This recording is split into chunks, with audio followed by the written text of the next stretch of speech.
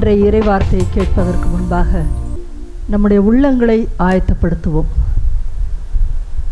இந்த நேரத்தில் உலகத்தில் இருக்கிற தொண்ணூற்றி ஒன்பது சதவீதத்தினர் இறை வார்த்தையை கேட்க முடியாமல் ஆண்டவர் எனக்கு என்ன வைத்திருக்கிறார் என்ன சொல்ல போகிறார் என்று கேட்க முடியாதவர்களாய் பயத்தோடும் குழப்பத்தோடுமே உலகத்திலே நமக்கு விடுதலை கிடைக்குமா என்ற ஏக்கத்தோடு இருக்கிற நேரத்தில் கடவுள் உங்களையே தேர்ந்தெடுத்து கொண்டார். ஆம். இந்த செய்தி நமக்காக இந்த தொலைக்காட்சியை பார்த்து கொண்டிருக்கிறவர்களுக்காக இந்த யூடியூப் மெசேஜ் பின்னாளிலே அதை எப்பொழுதெல்லாம் மக்கள் பார்க்கிறார்களோ அவர்களுக்கான செய்தி மாத்திரமே. அவர்களுக்கென்று பிரத்யேகமான செய்தி இது. ஆகவே அதை முழுவதுமாய் அறிந்து கொள்ள நாம் ஆவியானவரை அழைப்போமா? அன்புள்ள தகப்பனே அருமையான இந்த பொழுதிற்காய் உமக்கு நன்றி செலுத்துகிறோம். ஒவ்வொன்றையும் அதன் அதன் நேரத்தில் செய்கிறவர் சுவாமி. இதோ நீர் இந்த வேளையில் எங்களோடு இடைப்பட்டு நாங்கள் என்ன செய்ய வேண்டும்? எப்படி நாங்கள் இந்த உலகத்திற்காய் செபிக்க வேண்டும் என்று எங்களுக்கு கற்றுக் கொடுக்க போகிறீர். இதோ நாங்கள் அதை உணர்ந்து மீதம் இருக்கிற தொண்ணூற்றி ஒம்பது சதவீதத்தினரை எங்கள் ஜபத்தினாலே தாங்கும்படியாய் எங்களை அழைத்தவரே எங்களுக்கு அதனுடைய உணர்வையும் தாரும். ஆவியானவரே நீர் மாத்திரமே எங்களுக்கு இதை விளக்கிச் சொல்ல முடியும். உம்முடைய ஆவி இதோ எங்களுக்குள் சென்று தங்குவதாக. உம்முடைய உணர்விலிருந்து நாங்கள் இந்த செய்தியை பெற்றுக்கொள்ளவும் எங்களுக்கு அது என்றென்றைக்கும் உள்ளத்தில் தங்கி கிரியை செய்யவும் இதோ இந்த இடத்துல சகோதரியாகிய நான் மறைக்கப்பட்டு நீர் வெளிப்படவும். இயேசு கிறிஸ்துவின் நாமத்தினாலே ஜெபிக்கிறேன். என் ஜெபம் கேளும். ஜீவனுள்ள நல்ல பிதாவே ஆமேன். ஃப்ரைசலாட் இன்றைக்கு நாம் பார்க்க போகிற பகுதியானது யோனாவை பற்றி. யோனாவை பற்றி ஏற்கனவே நமக்கு ஓரளவுக்கு தெரியும். ஆனால் இன்றைக்கு எப்படி பார்க்க போகிறோம் என்று சொன்னால் மூன்று வகையாக பிரித்து பார்க்க போகிறோம். ஒன்று யோனாவிற்கு ஆண்டவர் வாக்கு உரைத்த பொழுது அவர் கிளம்பி அந்த கடலில் சென்றது வரை. இரண்டாவது அவர் மீன் வயிற்றிலே இருந்த பகுதி. மூன்றாவது அவர் நினைவே ஊரிலே இருந்த பகுதி. யோனாவோடு நாமும் இந்த வேளையிலே பயணப்பட போகிறோம். இன்றைய காலகட்டத்தில் நம்மை சுற்றிலும் உலகில் என்ன பார்க்கிறோமோ அதையே இந்த பகுதியிலும் நீங்கள் நிதானித்து பார்க்கிற பொழுது ஆவியானவருடைய உணர்வுக்குள் நீங்கள் பார்க்கிற பொழுது அவர் சுட்டி காண்பிக்கிற அன்றைய நினைவே நகரின் மனங்களின் மக்களின் மனதை இதோ இன்றைய உலகத்தின் மக்களின் உணர்வுகளையும் அப்படியே பிரதிபலிக்கிறது. அதை உணர்ந்து கொள்வதற்கு இதோ இந்த செய்தியை நான் ஆழமாய் கேட்க விரும்புகிறேன். ஆண்டவரை என்னோடு பேசும் என்று நாம் தொடங்கலாமா? இதோ முதல் பகுதியில் பார்க்கிறோம். ஆண்டவர் யோனாவிற்கு முதன்முறையாக நினைவே நகரை பற்றி அறிவிக்கிறார். இதோ நீ அங்கு சென்று நான் சொன்னவற்றை அந்த மக்களிடத்திலே அறிவிப்பு செய். ஏனென்றால் அவர்கள் செய்யும் தீமைகள் என் முன்னே வந்து குவிகின்றன என்று சொன்னார். அவர்களுடைய தீமைகள் மிகுதியாகிவிட்டது. ஆண்டவரோ பேரன்பு மிக்கவர். நீடிய பொறுமையும் சாந்தமும் உள்ளவர் என்று நாம் அறிந்திருக்கிறோம். அன்பார்ந்தவர்களே நீடிய பொறுமை அந்த சாந்தமும் கூட ஒரு நாள் அவருக்கு நின்று போகும் அளவிற்கு அந்த மக்களுடைய தீமைகள் மிகுதியாய் குமிந்து விட்டது. அதனால் அவர் வெகுண்டெழுந்து சொன்னார் இதோ நீ நினிவே நகருக்கு செல் என்று சொன்னார். இன்றைய நாளில் நீங்கள் செய்தியை பார்த்து கொண்டிருக்கிற கேட்டுக்கொண்டிருக்கிற அநேக மக்கள் அன்பார்ந்தவர்களே யோனாவை போன்றவர்களே இன்றைய நாளில் ஆண்டவர் உங்களைத்தான் எழுப்பிவிட்டிருக்கிறார். இந்த உலகத்தின் மக்களுக்காக நீ என்ன செய்ய போகிறாய்? நான் சொல்வதை செய் என்று கட்டளை எழுகிறார் ஆம் யோனா என்ன செய்தார்? அவருக்குள்ளாக ஒரு எண்ணம் இருந்தது. நினிவே நகரை பற்றி அந்த மக்கள் மோசமானவர்கள் முரடானவர்கள் திருட்டு பேர்வழிகள் ஏமாத்துக்காரர்கள் அவர்களுக்காக ஜெபிப்பதெல்லாம் வீண் என்று நினைத்தார். இன்றைக்கு நாமும் அப்படி நினைக்கவில்லையா? சீன தேசத்தில் இவ்வளவு பெரிய வைரஸ் கொரோனா நோய் தொற்று இருக்கிற பொழுது நாம் என்ன விதத்தில் நினைக்கிறோம்? அந்த மனிதர்கள் கடவுளை அறியாதவர்கள் அவர்கள் ஏமாற்று பேர்வழிகள் அவர்களுக்கு கடவுள் பக்தி இல்லை சொன்னாலும் புரிந்து கொள்ள மாட்டார்கள். அவர்களுக்கு வேண்டியதுதான். அவர்கள் மனிதர்கள் போலவா சாப்பிட்டார்கள் அவர்களுடைய உணவு முறையே வேறு. பின்பு வரத்தானே செய்யும் என்றுதான் நாமும் இன்றைக்கு எண்ணுகிறோம். அன்றைக்கு யோனா நினைத்ததைப் போலவே கடவுள் ஒன்றை சொல்கிறார் ஆனால் யோனா மனித ரீதியாக நினைத்தார். இன்றைக்கு நாமும் கடந்த மாதத்தில் சீன தேசத்திற்கு ஏதாவது ஆகட்டும் என்றுதான் பேசாமல் இருந்து விட்டோம். அதனுடைய பலன்கள் இன்றைக்கு நம் வீட்டு வாசல் வரைக்கும் நிற்பதை பார்க்க முடிகிறது. ஆம் யோனா என்ன செய்தார்? அந்த மக்கள் திருந்தவே மாட்டார்கள் என்று நினைத்தார். அன்பார்ந்தவர்களே கடவுள் பேச ஆரம்பித்து விட்டால் அதற்கு உண்டான காரண காரியங்கள் உண்டு. அந்த நேரம் நெருங்கிவிட்டது என்று உண்டு. அவர் தீமைகள் பெருகிவிட்டது என்று சொல்லி உடனே அழிக்கவில்லை. அவர் மீண்டும் நாற்பது நாட்களை கொடுக்கிறார் என்பதை நாம் பார்க்க வேண்டும். அந்த நாற்பது நாட்கள் எத்தனை வருடங்களுக்கு முன்பாக? இயேசு பிறப்பதற்கு எண்ணூறு ஆண்டுகளுக்கு முன்பாக. ஆம் எசையாவின் காலத்திலே தான் யோனாவும் இருந்திருக்கிறார். அந்த காலகட்டங்களிலேயே இது நடந்தது என்று சொன்னால் இன்றைக்கு இரண்டாயிரத்தி இருபதாம் ஆண்டு எண்ணூறு ஆண்டுகளையும் சேர்த்து கொள்ளுங்கள். அதையெல்லாம் தாண்டி இன்றைக்கும் இதே நாற்பது நாட்களில் இந்த தவ நாட்களில் நாம் இந்த செய்தியை கேட்டுக்கொண்டிருக்கிறோம் இன்றைக்கு உலகத்தில் தீமை மிகுதியாகிவிட்டது.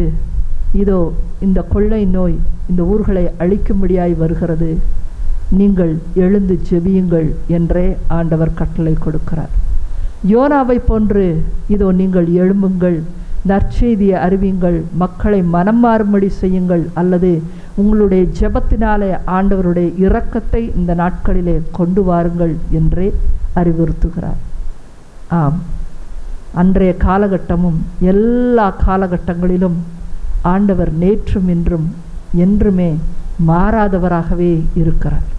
அந்த நீடிய பொறுமை உள்ளவர் இன்றைய நாளிலும் இப்படிப்பட்ட ஒரு வைரஸை கொடுத்து நாடு முழுவதும் அல்லது உலகமெங்கும் இருக்கிற மக்கள் அழிந்து போகட்டும் என்று விடாமல் இந்த நாற்பது நாட்களை நமக்கு கொடுத்திருக்கிறார். அன்பார்ந்தவர்களே நீங்கள் ஒவ்வொருவரும் இன்றைய நாளில் யோனாவைப் போல ஆண்டவருடைய வார்த்தையை கேளுங்கள். ஆண்டவர் நம்மிடத்திலே தான் பேசுகிறார். தொண்ணூற்றி ஒன்பது சதவீத மக்களிடத்திலே அவர் பேசவில்லை. இந்த தொலைக்காட்சியின் வழியாக இன்றைய நாளில் உங்களோடு கூட ரெண்டாயிரத்தி இருபதிலே பேசி கொண்டிருக்கிறார். ஜபம்தான் அவருடைய இரக்கத்தை இந்த உலகத்திற்கு கொண்டு வந்து சேர்க்கும் கருவியாக இருக்கிறது. அவருடைய இரக்கத்தை இன்றைக்கு செய்தியை கேட்பவர்கள்தான் கொண்டு வந்து சேர்க்க முடியும். நினைவே நகரை குறித்து யோனாவிற்கும் மாற்று கருத்து இருந்தது. ஆண்டவர் சொன்னார் அந்த மக்களிடத்தில் போய் மனம் திரும்ப சொல். அல்லது அல்லது என்ற வார்த்தையை சொன்னார். அல்லது நாற்பது நாட்களிலே நான் அழித்து விடுவேன் என்று தான் சொன்னார். அவர்களை நான் அழித்து விடுவேன் என்கிற செய்தியை மட்டும் அவர் அனுப்பவில்லை. அவர்கள் மேல் நான் இரக்கம் காட்டுவேன் என்ற பொருளையும் வைத்துத்தான் யோனாவை அனுப்பினார் என்று பார்க்கிறோம். இது இன்றைய நாளில் உங்களுக்கு இந்த செய்தி உங்களை நோக்கி வந்திருக்கிறது என்றால் இதோ நான் இரக்கம் காட்ட விரும்புகிறேன் என்பதுதான் அர்த்தமாகிறது. ஆனால் யோனாவோ தன்னுடைய எண்ணத்தை கொண்டவனாய் அவர்கள் திருந்த மாட்டார்கள் என்றே நினைத்தார். உங்களுடைய எண்ணங்களிலும் அப்படி. அவர்கள் எல்லோருக்காகவும் நான் ஜெபித்தால் கேட்கப்படாது. ஆண்டவர் என்னுடைய ஜெபத்தையா கேட்கிறார் என்று நினைத்தீர்கள் என்றால் யோனாவை விட முட்டாளாய் நீங்கள் இருப்பீர்கள்.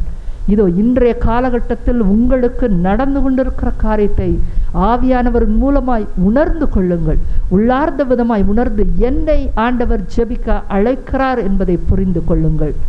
ஆம் அன்பார்ந்தவர்களே அன்றைக்கு யோனா இந்த காரியங்களிலிருந்து தப்பி ஓட நினைத்தார் அதனுடைய வார்த்தையை பார்த்தோம் என்றால் ஆண்டவர் திருமுன் நின்று தப்பியோட நினைத்தார். அதனால் தான் முட்டாள்தனம் என்று சொல்லுகிறோம் ஆண்டவருடைய திரு திருமுன்னிலிருந்து எங்காவது உலகத்தில் மட்டுமல்ல இந்த உலகத்தில் நாம் வாழ்ந்து முடித்த பிறகாகவும் தப்பிக்கவே முடியாது.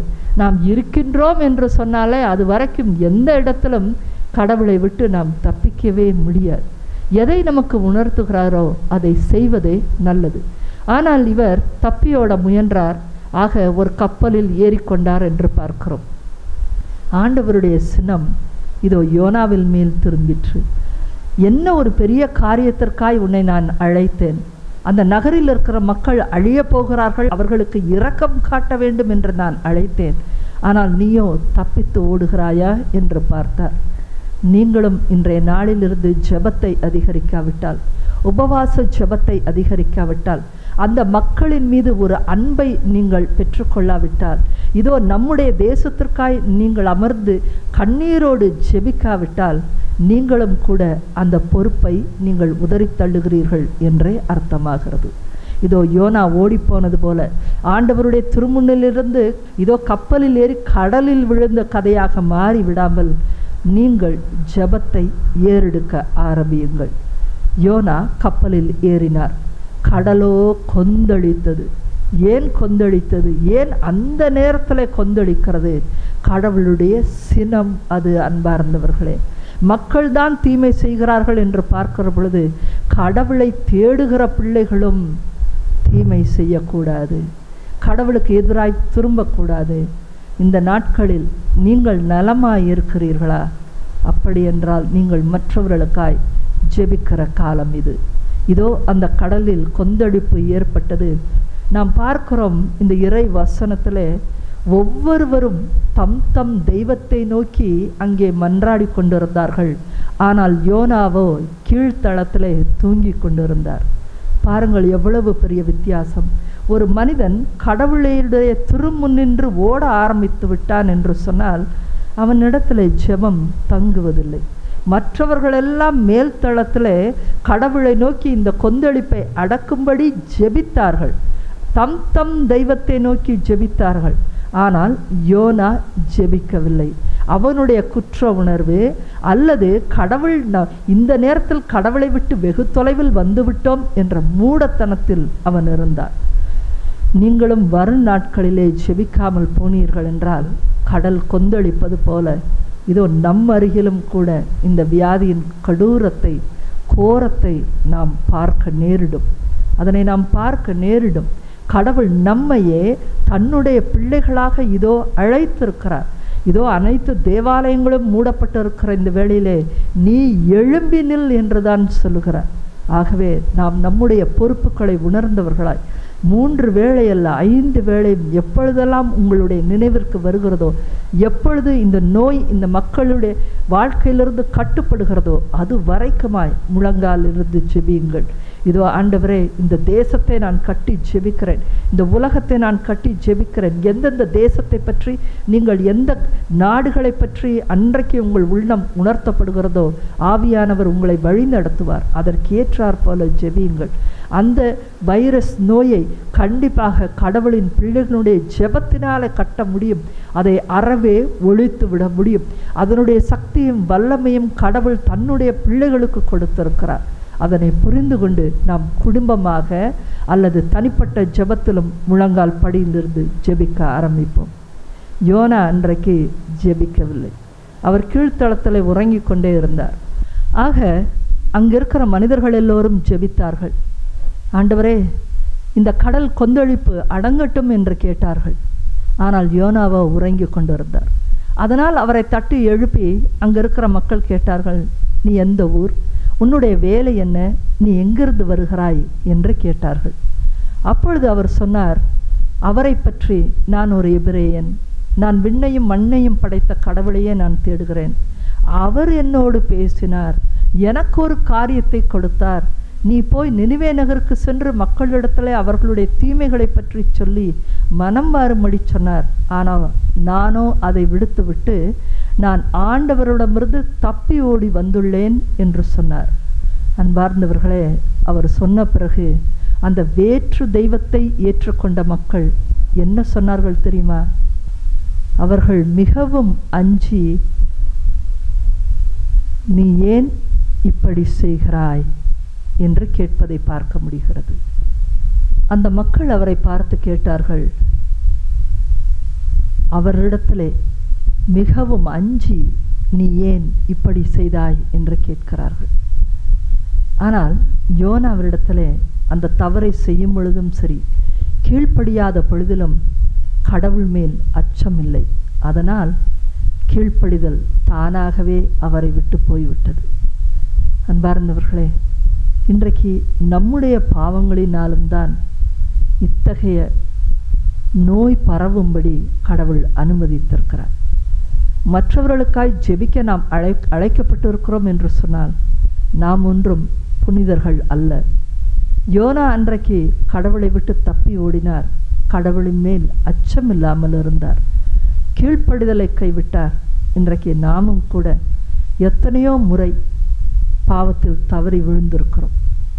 ஏனென்று சொன்னால் நாம் பார்க்கிறோம் ஆப்ரஹாமனிடத்தில் ஆண்டவர் பேசும் பொழுது பத்து நீதிமான்கள் இருந்தாலும் நான் அந்த நகரை அழிக்க மாட்டேன் என்று சொன்னார். ஆனால் இன்றைக்கு அந்த பத்து பேரை கூட பார்க்க முடியாதபடி நாடுகள் இன்றைக்கு சீரழிந்த வண்ணமாய் இருக்கிறது. நாமும் கூட இன்றைக்கு பல விதத்தில் பாவத்தில் விழுந்து கிடக்கிறோம். ஒரு உண்மை உள்ள ஜெபத்தை ஏறெடுக்க முடியாமலே நாம் இருக்கிறோம். ஏனென்றால் உலகத்திலும் கால் வைத்தவர்களாக நாம் ஜெபித்து கொண்டிருக்கிறோம். அப்படிப்பட்டவர்களுடைய ஜெபம் கேட்கப்படுவதில்லை என்பதை நாம் அறிந்திருக்கிறோம். இதோ இன்றைக்கு அந்த யோனாவைப் போல நாமும் கூட எத்தனையோ தருணங்களிலே கடவுள் மீது அச்சம் இல்லாதவர்களாய் அதனால் கீழ்ப்படுதல் இல்லாதவர்களாய் நம்முடைய எண்ணங்களைக் கொண்டே நாம் வாழ்க்கை நடத்துகிறோம் என்பதை புரிந்து கொள்ளுங்கள். அவர்கள் எல்லோரும் அச்சம் கொண்டார்கள் ஆனால் யோனா அச்சம் கொள்ளவில்லை. அந்த கடலில் கொந்தளிப்பு ஏற்பட்ட பொழுது கூட அச்சம் இல்லை. அவர் ஜெபிக்கவும் இல்லை. அதனால் அந்த மனிதர்கள் சொன்னார்கள் கடல் கொந்தளிப்பு அடங்கும்படி உன்னை என்ன செய்ய வேண்டும்? என்று கேட்டார்கள். இதோ ஒரு ஜெபத்தில் இருந்திருந்தால் இது கொஞ்ச நேரத்தில் அடங்கிவிடும். அதன் பிறகு பார்த்து கொள்ளலாம். அல்லது என்னை காப்பாற்றுங்கள் என்று கேட்டிருக்கலாம். ஆனால் ஜெபம் இல்லாத உதடுகளிலே என்ன வார்த்தை வந்தது என்று பாருங்கள். இதோ என்னை தூக்கி கடலில் போடுங்கள் என்றே சொன்னார். அவரேதான் வரப்போகிற துன்பத்தை வருவித்து கொண்டார். ஏன் அப்படிப்பட்ட வார்த்தைகள் அவருடைய வார்த்தை வாயிலே வந்தது என்று பார்த்தால் அவரிடத்திலும் ஜெபம் இல்லை அவரிடத்திலும் கீழ்ப்படுதல் இல்லை அவரிடத்திலே கடவுளை பற்றிய அச்சம் இல்லை அன்பார்ந்தவர்களே. இந்த முதல் பகுதியை பார்க்கிற பொழுது நினைவே நகருக்கும் இவருடைய ஊருக்கும் அவருடைய ஊரை பற்றி பார்க்கிற பொழுது நாம் இரண்டு ராஜாக்கள் பதினாலு இருபத்தி ஐந்தாம் வசனம். அதில் கத் கேப்பர் என்ற ஊரிலிருந்து அவர் கிளம்புகிறார். இந்த கத் கேப்பர் என்ற ஊர் நினைவே நகருக்கும் இதற்கும் எவ்வளவு தொலைவு இருக்கிறது என்றால் ஆயிரத்தி இரநூறு கிலோமீட்டர்கள் தொலைவு இருக்கிறது. இன்றைக்கு கோயம்புத்தூருக்கும் சென்னைக்கு எவ்வளோ தொலைவுனா ஐநூறு கிலோமீட்டர். நம்ம நடந்து இதை போக முடியுமா? வெகு தொலைவு தான் ஆயிரத்தி இரநூறு ரெண்டரை மடங்கு. அப்போ சென்னையிலேருந்து கோயம்புத்தூரோட ரெண்டரை மடங்கு தொலைவு. அந்த ஊரை அவர் பார்த்திருக்க வாய்ப்பே இல்லை. ஆனால் கேள்விப்பட்டதிலிருந்து பட்டதிலிருந்து அவர் அந்த ஊரை பற்றியான நல்ல அபிப்பிராயத்தை வைத்து கொள்ளவில்லை. நல்ல அபிப்பிராயம் இல்லாத பொழுது உண்மையாக ஆண்டவரே பேசினாலும் கூட நமக்கு அது தெளிவுபடுத்தப்படாமல் அதை உணர்கிற அந்த உள்ளம் இல்லாமலே போகிறது பாருங்கள். அன்பார்ந்தவர்களே இன்றைக்கு நாம் சிந்திக்க வேண்டியது நாம் பலரை பற்றி உண்மையாக அறிந்து கொள்ளாமல் நிறைய தீர்ப்பிடுகிறோம். யோனா அன்றைக்கு நினைவே நகரை அப்படித்தான் நினைவிலேயே தீர்ப்பிட்டார். நினைவுகளினாலே தீர்ப்பிட்டார்.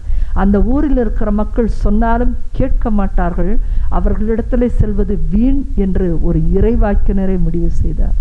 இன்றைக்கு நீங்கள் கடவுளை தேடுகிற மக்களாக இருந்தும் கூட பல நாடுகளுக்காய் நீங்கள் செபிக்கவில்லை. ஏன் என்று சொன்னால் அந்த நாடுகள் அழியட்டும் என்று நினைத்திருப்பீர்கள். அந்த நாடுகளுக்கு ஏதோ ஒன்றாகிறது. எனக்கு என்ன ஆயிற்று என்று யோனாவைப் போல நினைத்திருப்பீர்கள். அங்கே நடக்கிற காரியம் எனக்கு ஒன்றும் நேராது. ஆண்டவர் என் மேல் மட்டும் இரக்கமாயிருப்பார் என்று நினைத்திருப்பீர்கள். அன்பார்ந்தவர்களே உள்ளங்களை உடைத்து ஆண்டவருடைய வார்த்தையை உணர்ந்து கொள்ளுங்கள். அல்லது யோனாவுக்கு மேலாக கேட்டது போல இப்படி மேலாக்க கேட்டது போல உணர்வு இல்லாமல் உங்களுக்கும் போய்விடும். உங்களுக்கு அந்த உணர்வு வேண்டும். ஆம் அன்பார்ந்தவர்களே இதோ இந்த வேளையிலே யோனாவின் தவறை நாமும் செய்திருக்கிறோமா? நாடுகளை மட்டுமல்ல நம் வாழ்க்கையிலும் எத்தனையோ பேரை தீர்ப்பிட்டு கொண்டு இருக்கிறோம் அவர்கள் சரியில்லாதவர்கள் அவர்கள் திருந்த மாட்டார்கள். நாம் மட்டுமே சரி என்கிற உள்ளத்தில் நாம் நிறைய தடவை நினைத்திருக்கிறோம். அன்பார்ந்தவர்களே கடவுளின் சாயலாய் ஒவ்வொருவரும் படைக்கப்பட்டிருக்கிறார்கள். ஒவ்வொருவரின் மீதும் கடவுள் மதிப்பு வைத்திருக்கிறார். கடவுளுடைய மதிப்பு அதற்குள்ளே இருக்கிறது. நாம் ஒவ்வொரு உயிருக்கும் நாம் மதிப்பை கொடுக்க வேண்டும். சில உயிர்கள் மறித்து போயிருக்கிறது என்று சொன்னாலே அந்த உயிர்களுக்காக நாம் மதிப்பு கொடுத்து ஐயோ அவர்களுக்கு என்ன நேர்ந்திருக்கும் என்று நினைக்கக்கூடிய உள்ளத்தை நாம் பெற்றிருக்க வேண்டும். இதோ நீங்கள் கிறிஸ்தவர்களாய் இருக்கிறீர்கள். உங்களுடைய ஜெபத்தையே ஆண்டவர் தேடுகிறார் இந்த வேளையிலே. நீங்கள் கேட்க கேட்கத்தான் இதோ அப்படியான நோய் இந்த காலத்தில் அழிவிற்கு வரும். ஆகவே முழங்கால் படியிலிருந்து இந்த நாட்களிலிருந்து உங்களுடைய ஜெபத்தை ஆரம்பியுங்கள். அதே நாற்பது நாட்கள் இதோ இந்த காலகட்டத்திலும் ஓடிக்கொண்டிருக்கிறது. யோனாவை போன்று ஜெபம் இல்லாமல் நமக்கும் கூட பிரச்சனைகளை வருவித்து கொள்ளாதீர்கள். என்னை தூக்கி கடலில் போடுங்கள் என்று சொல்லும்படியாய் இதோ எனக்கும் அந்த வியாதி வந்தாலும் ஒன்றும் ஆகாது அல்லது என்ன எனக்கு வராது என்ற இருமாப்போடு நிற்காதீர்கள். நம்முடைய வார்த்தையினாலே தீமையை வரவழைத்து கொள்ளாதீர்கள். ஆகவே நம்மை தாழ்மைப்படுத்துவோமா? முழங்கால் படியிடலாம் மூன்று பகுதிகளிலும் நம்முடைய தவறை நினைத்து நாம் ஆண்டவரிடத்தில் செபிக்கவிருக்கிறோம் முழங்கால் படிட்டு அன்பின் தகப்பனே நாங்கள் செய்திருக்கிற பாவங்களை இந்த வேளையிலே உணர்வில் கொண்டு வந்து இதோ உம்மிடத்தில் வருகிறோம். நீர் எங்களை ஜெபிப்பதற்காய் உம்முடைய அபிஷேகத்தையும் பிரசன்னத்தையும் அநேக மறைப்பொருளையும் விளக்கி எங்களை தயார் செய்திருந்தீர். ஆனால் நாங்களோ இத்தனை நாளும் இதற்காக ஜெபிக்காமல் இதனை நாங்கள் ஏறெடுத்து பார்க்காமல் யோனாவை போன்று அந்த நாடுகளை பற்றி மனிதர்களை பற்றி நாங்கள் மறுதளித்து வாழ்ந்திருக்கிறோம் ஆண்டவரே. அவர்கள் மீது ஒரு அன்பை கொண்டு வராமல் உம்முடைய சாயலாய் இருக்கிற பிள்ளைகளின் மீது அன்பை கொண்டு வராமல் நாங்கள் வாழ்ந்திருக்கிறோம் சுவாமி. இதோ அந்த தவறுக்காய் நாங்கள் மன்னிப்பு கேட்கிறோம். இதோ தனிப்பட்ட முறையிலே நாங்களும் பாவிகளாய் இருக்கிறோம். அநேக பேரை தீர்வையிட்டு நாங்கள் அவர்களிடத்தில் அன்பு காட்டாமல் அவர்களுக்காய் ஜெபிக்காமல் அவர்களை மன்னித்து ஏற்றுக்கொள்ளாமல் அவர்களிடத்தில் பொறுமை இல்லாமல் நாங்கள் எத்தனையோ முறை தீர்ப்பிட்டு கொண்டிருக்கிறோம். எங்களுடைய ஜெபமில்லாத வாழ்க்கையினாலே எங்களுடைய வாயின் வார்த்தைகள் எங்களுக்கு எதிராகவே இதோ மனக்குழப்பத்தையும் முற்றிலுமாக கண்ணீரையும் எங்களுக்கு கொண்டு வந்து சேர்த்திருக்கிறது. எங்களுடைய வாழ்க்கையில் அழிவு ஏற்பட்டிருந்தால் இந்த வருடத்தில் ஏற்பட்டிருந்தால் இது எங்களுடைய குணத்தினாலே எங்களுடைய சரியான நடத்தை இல்லாததினாலே ஆவியானவர் உள்ளத்தில் தங்காததினாலே நாங்களே வரவழைத்து கொண்ட தீமையாய் இருக்கிறது. அன்றைக்கு யோனாவைப் போல கடலில் தள்ளப்பட்டவர்களாய் இன்றைக்கும் நாங்கள் உம்முடைய திருமுன்னிலிருந்து ஓடி வந்திருக்கிறோம் ஆண்டவரே. இதோ அநேக படுக்கையில் இருக்கிற மக்களை நினைவு கூர்ந்து பார்த்து இதோ எவ்வளவோ மூச்சு விட சிரமப்பட்டு கொண்டிருக்கிற மக்களை நினைவு கூர்ந்து பார்த்து நாங்கள் ஜெபிக்கிறோம் ஆண்டவரே. நாங்கள் ஜபத்தில் குறைவுபட்டவர்களாய் இருந்திருக்கிறோம். இந்த நோய்களை எங்களுடைய ஜெபத்தினாலே நாங்கள் துறப்பில் நின்று நாங்கள் கட்டி ஜெபித்திருக்க முடியும் ஆண்டவரே. ஆனால் உம்முடைய வார்த்தையை கேட்காமல் நாங்கள் அதை புறக்கணித்து விட்டு இதோ நாங்கள் இத்தகையான ஒரு காலத்தை நாங்கள் பார்த்து கொண்டிருக்கிறோம் சுவாமி. எங்கள் எங்களுடைய தனிப்பட்ட உள்ளத்திலும் ஒரு மாற்றத்தை நீர் கொண்டு வருவீராக. நீர் என்ன விரும்புகிறீரோ அப்படியான ஒரு உள்ளத்தை நாங்கள் பெற்றுக்கொள்ளும்படி கீழ்ப்படுதலின் ஆவியை தருவீராக. உண்மையின் ஆவியை தருவீராக. அன்பின் உள்ளத்தை எங்களுக்கு தருவீராக. மற்றவர்களுக்காக உதவி செய்கிற உள்ளத்தை எங்களுக்கு தருவீராக. மற்றவர்களோடு தோழமையோடு பழகக்கூடிய ஒரு உள்ளத்தை எங்களுக்கு தருவீராக. குற்றம் கண்டுபிடித்து கொண்டே இருக்கிற உள்ளம் இதோ இன்றைக்கு மறையட்டும் ஆண்டவரே. அது பிசாசின் குணமாய் இருக்கிறது உம்முடைய திருமுன்னிலிருந்து ஓட வைக்கிற குணமாக இருக்கிறது அதிலிருந்து நாங்கள் மாற்றம் பெற வேண்டும் ஆண்டவரே. இதோ இன்றைக்கு ஒரு மாற்றத்தை தாரும் ஆண்டவரே. இதோ அந்த வேளையிலே அவன் கடலில் தூக்கி எறியப்பட்ட பொழுது அந்த மீனை நீரே அனுப்பினீர். இதோ யோனாவிற்கும் நீர் இரக்கம் காட்டினீர் சுவாமி. அந்த மீன் வந்து யோனாவை மூழ்கடிக்க விடாமல் அவன் இறந்து போகாதபடி இதோ அந்த இறைவாக்கினருக்கும் ஒரு இரக்கம் காட்டப்பட்டது. இதோ இன்றைய நாளில் எங்களுக்கு இரக்கம் காட்டப்பட்டிருக்கிறது சுவாமி.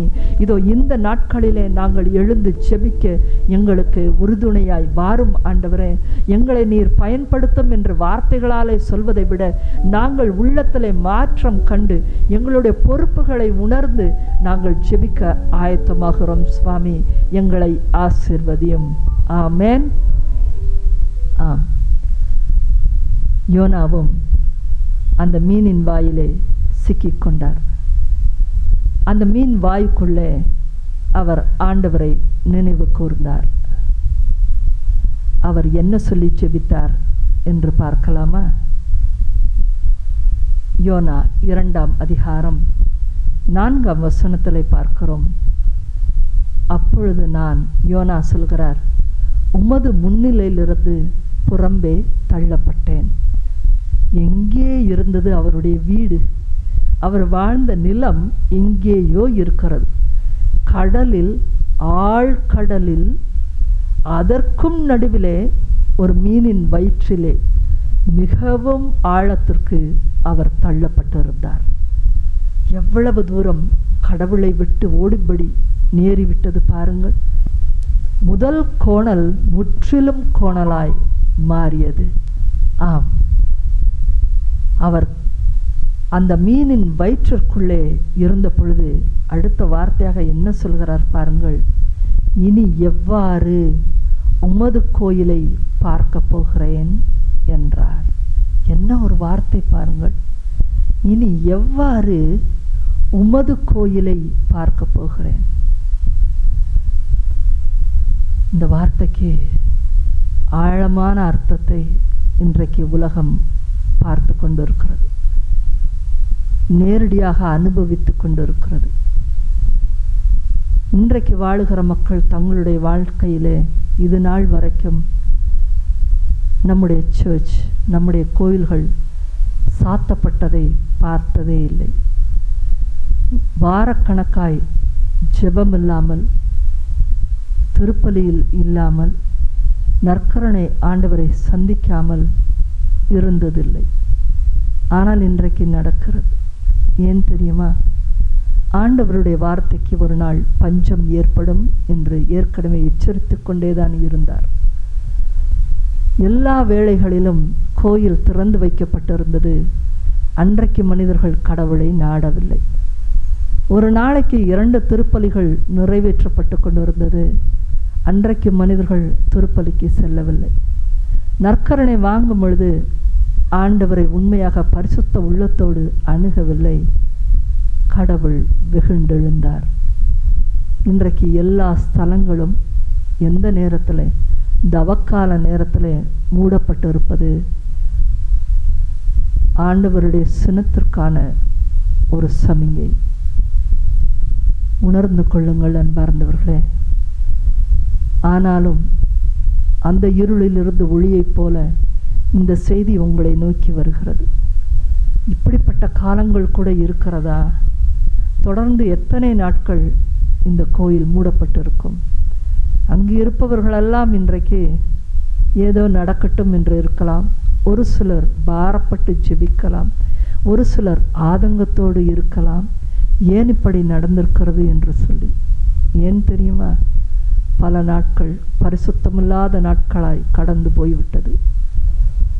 இன்றைக்கு மக்கள் கடவுளை காண முடியாதபடி அவருடைய இறைவார்த்தை கேட்க முடியாதபடி பஞ்ச காலத்தில் தள்ளப்பட்டிருக்கிறார்கள். ஒரு சிறிய வைரஸை கடவுள் இந்த உலகத்திற்கு அனுமதித்து விட்டார். நீ தொடுகிறவனை எல்லாம் தொடு என்று சொல்லி அனுமதித்து விட்டார். நாமோ யோனாவின் மீன் வயிற்றிற்குள்ளே அமர்ந்து கொண்டு திருக்கோயிலை நாம் எவ்வாறு பார்க்க முடியும் என்று கதறிக்கொண்டிருக்கிறோம். இந்த கதறல் எதனால் யோனாவிற்கு வந்தது? அவன் ஆண்டவருடைய திரு முன்னிலிருந்து ஓட முயன்றான். நாமும் கூட எத்தனையோ நாட்கள் ஓட முயன்றோம். நம்முடைய பாவங்களினாலே. ஆதாம் ஏவாளை ஆண்டவர் ஒவ்வொரு நாளிலும் சந்தித்தார். ஆனால் பாவம் செய்த நாளிலே அவர்கள் இருவரும் ஓடிப்போனார்கள். எங்கே ஆதாம் நீ எங்கே இருக்கிறாய் என்று தேடும்படியாய் ஓடிப்போனார்கள். நாமும் பலமுறை ஓடிப்போனதுனாலே அந்த இடத்தை தன்னுடைய ஸ்தலங்களை ஆண்டவர் மூடிவிட்ட காலமாய் இருக்கிறது. அன்பார்ந்தவர்களே நாம் இன்றைக்கு மனம் மாறாவிட்டால் நம்முடைய ஜெபத்தை இந்த நாட்டுக்காக ஏறெடுக்காவிட்டால் மற்றவர்களுக்காய் ஆத்ம பாரத்தோடு நாம் ஜெபிக்காவிட்டால் இன்னும் இந்த நாடுகளிலே மோசமான நிலைமைகளை நம்முடைய ஜெப இன்மையினாலே நம்பிக்கையற்ற தனத்தினாலே நாம் பார்க்க நேரிடும். புரிந்து கொள்ளுங்கள். யோனாவிற்கு புரிந்தது நடு கடலின் ஆழத்திலே மீன் வயிற்று என்பது எந்த இடத்துல இருக்கிறோம் என்றே தெரியாத ஒரு இடம் அது. அந்த இடத்திலிருந்து ஜெபித்தான் ஆண்டவரை நான் தவறு செய்து விட்டேன் என்னை நீர் கடலில் தள்ளிவிட்டீர். இதோ நான் மீன் வயிற்றுக்குள் இருக்கிறேன். உம்முடைய திருக்கோயிலை எப்பொழுது பார்ப்பேன்? என்று கேட்டார். இதோ நம்முடைய பாவங்களுக்காய் இப்பொழுது நாம் ஜெபிக்க வேண்டிய நேரம்.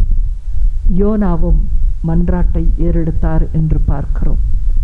இதோ முழங்கால் படிட்டு இந்த இரண்டாம் பகுதியிலே யோனா தன்னுடைய நடத்தைக்காக தான் செய்த தவறுகளுக்காக ஜெபித்ததைப் போல மற்றவர்களுக்காய் ஜெபிக்க ஆயத்தமாகிற பிள்ளைகள் முதலில் நம்மை பரிசுத்தமாக்கி கொள்ள வேண்டும்.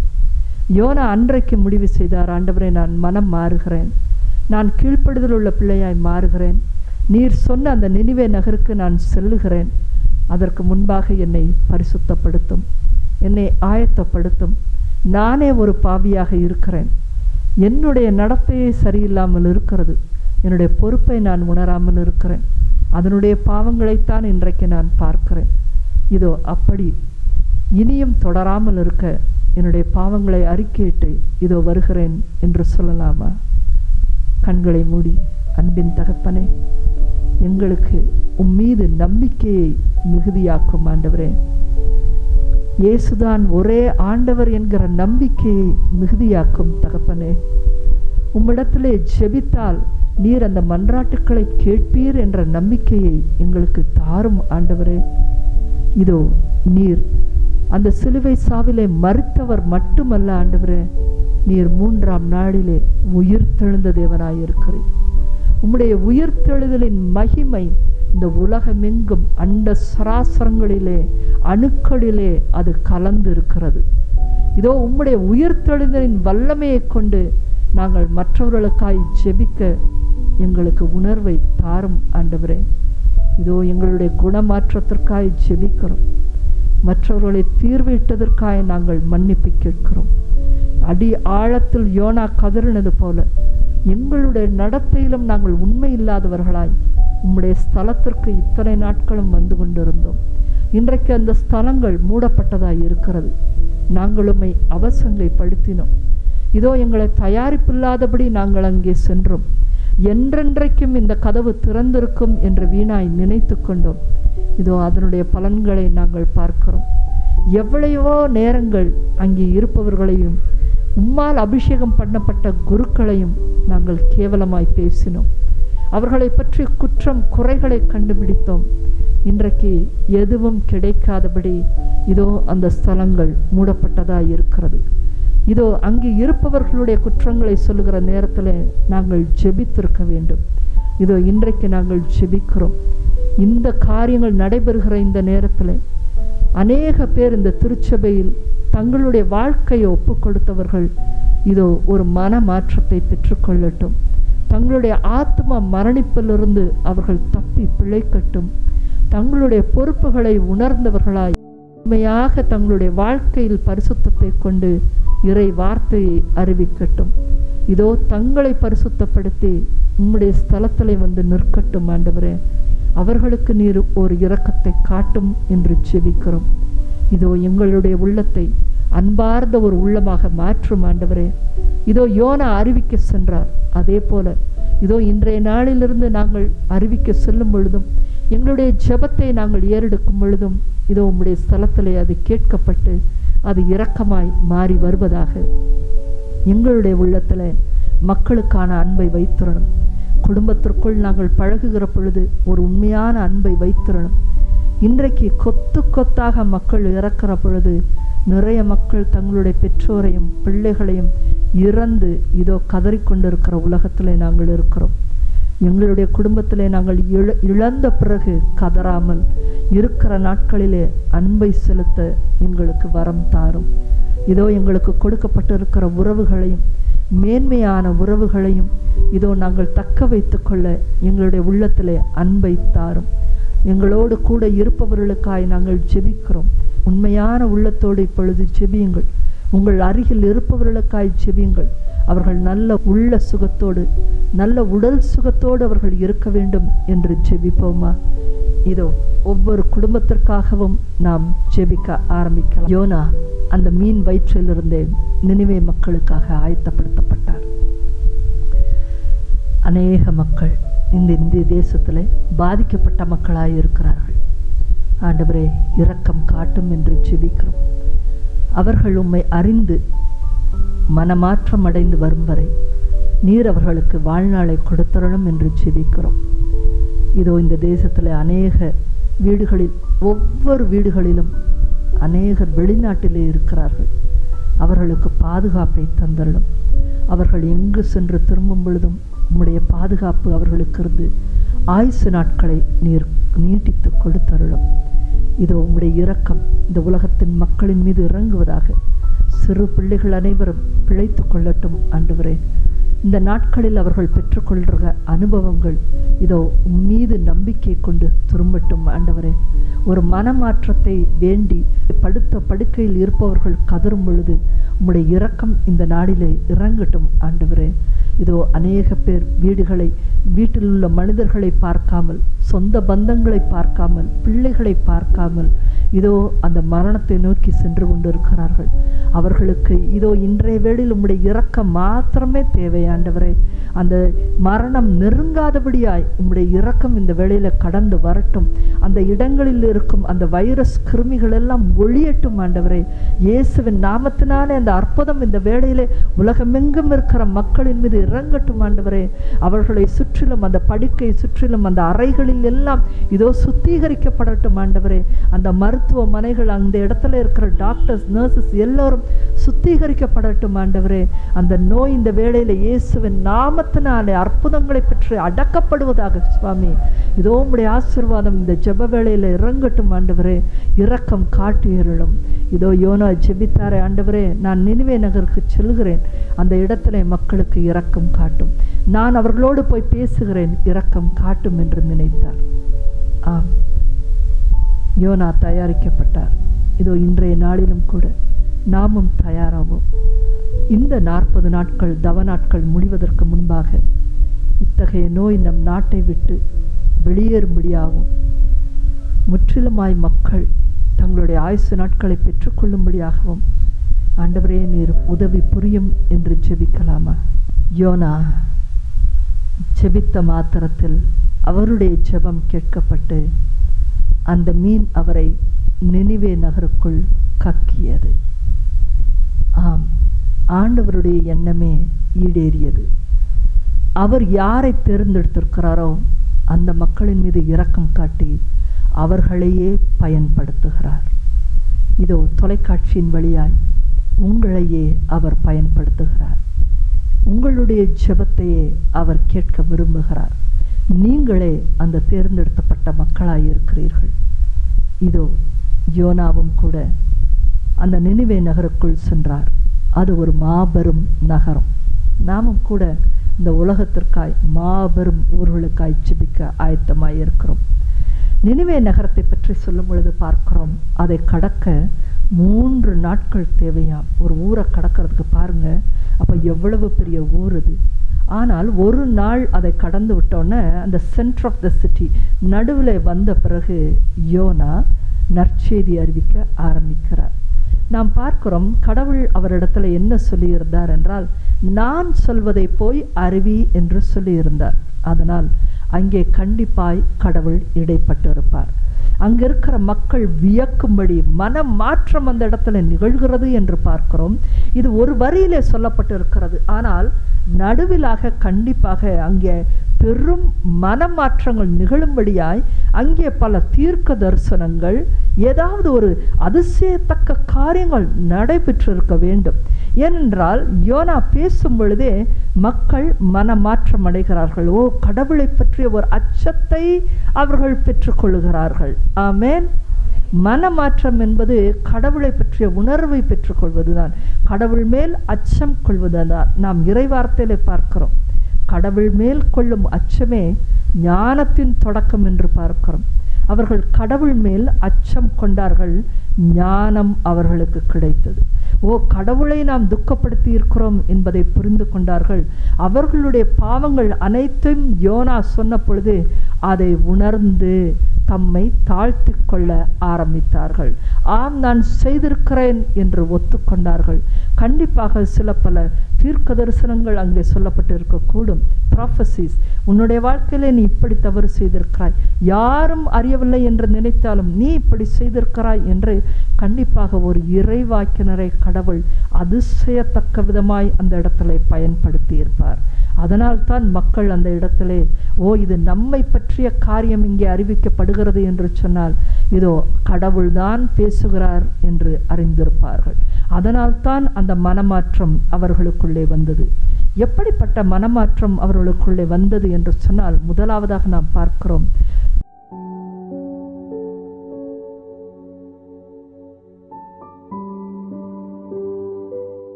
யோனா மூன்றாம் அதிகாரம் ஐந்தாம் வசனத்தில் கடவுளின் செய்தியை நம்பி.